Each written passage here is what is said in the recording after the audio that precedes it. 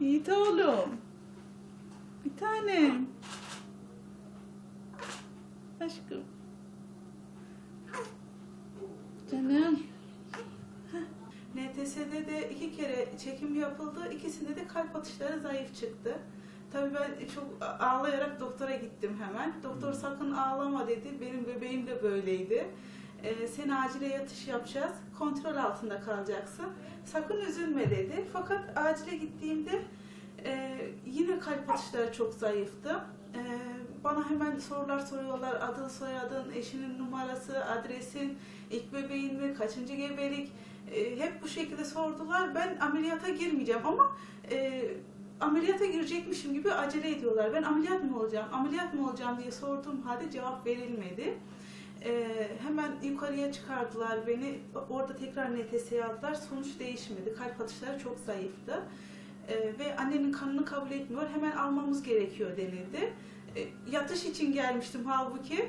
Ama bir anda ameliyata 10 dakika içinde hemen ameliyata hazırladılar. Ee, ameliyat oldum. Ee, sonra 5 gün ben hastanede kaldım ama bebeğimi görmedim hiç.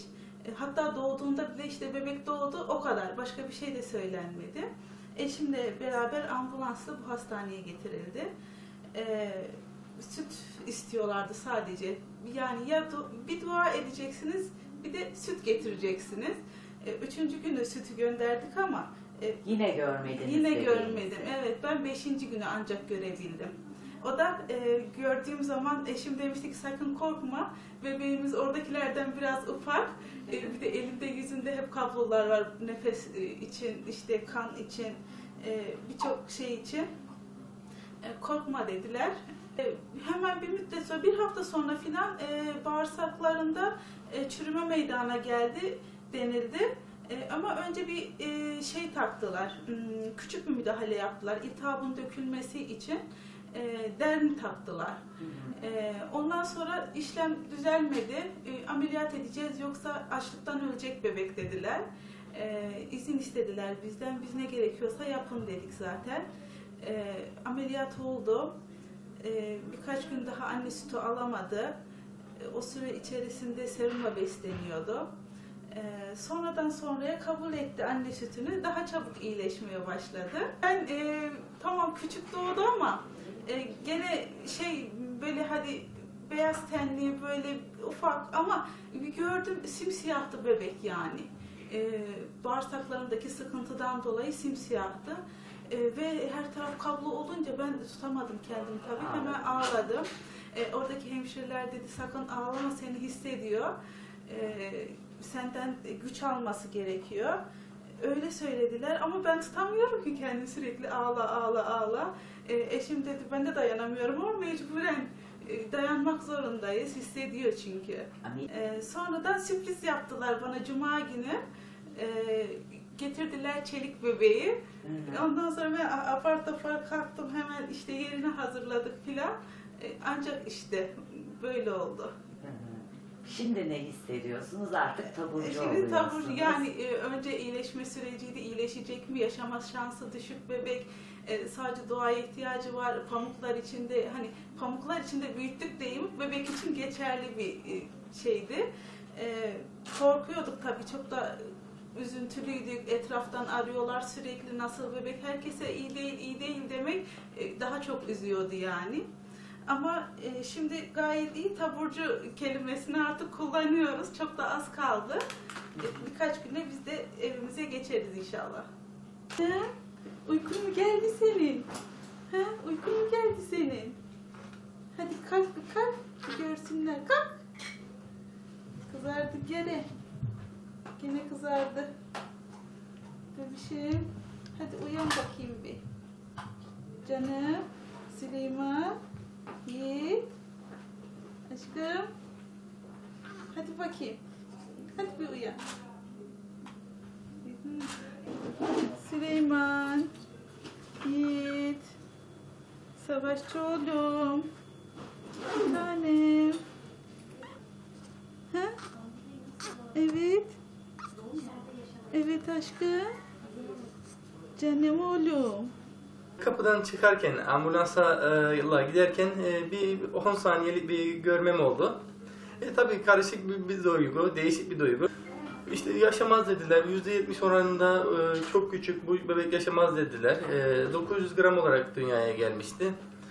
İşte hastaneden çeşitli şeyler için, imza için, ilaç için, e, bebek bezi için falan arıyorlardı. Bu aramalar hep tedirginlik uyandırıyordu bizde. İşte e, hani kötü bir haber mi gelecek, kötü bir haber mi gelecek diye. Özellikle e, gece gelen telefonlardan bile korkmaya başlamıştık artık. O derece olmuştuk. Ama çok şükür işte e, bir 5-6 gün falan oldu. O bölümden çıktı. E, normal odaya aldılar annesiyle birlikte. Annesiyle e, normal odada kalıyor şu anda. E, 1800 gram civarı falan oldu. İşte iyiye doğru gidiyor. Küçük bir biraz e, problemleri var. Onları da e, hallederse inşallah e, e, taburcu olacağız. Zor bir süreçti ama e, güzel bir duygu. Herkese tavsiye ediyorum. Seni buradan cuma günü göndeririz inşallah. Şöyle de. Evet, tamam. Heh, Gel. Şöyle Gezdirimize. Tamam. İşte böyle. 950 gram doğdu. Baba şimdi iyi. Maşallah 1800.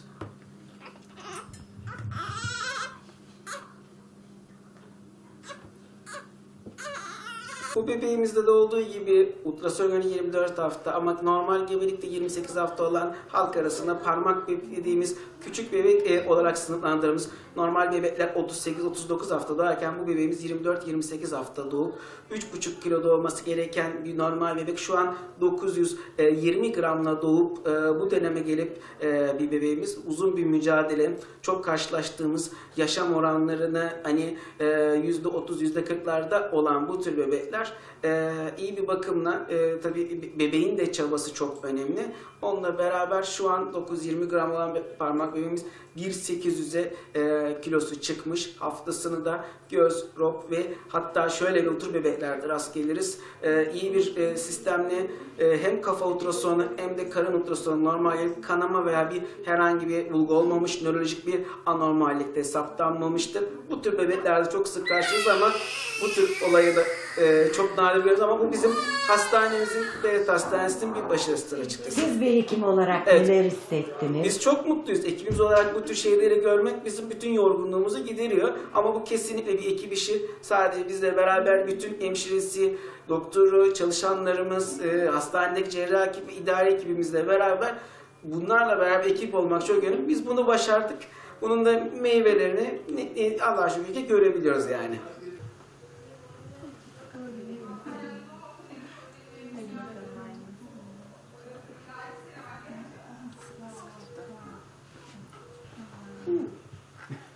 Keyfe bakar mısın ya? Hiç Keyfe bakar mısın?